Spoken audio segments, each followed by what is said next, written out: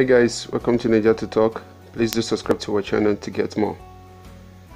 Blackface has released another diss track to his former record label mates, Two-Face Idibia. Blackface come out hard on this one where he named the title of this track War.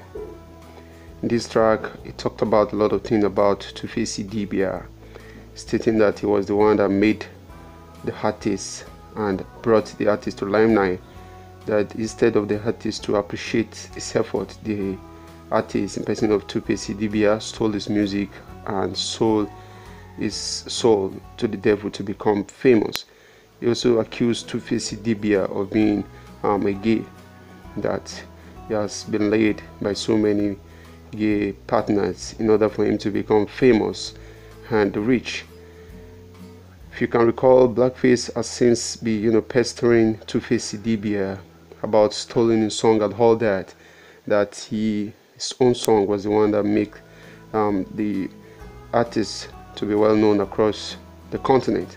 And Blackface is coming out strong with this one, with the diss track War. You can listen to the track, download, and hear what the artists say on this very song. Please do subscribe to our channel to get more on latest Nigerian news. Thank you.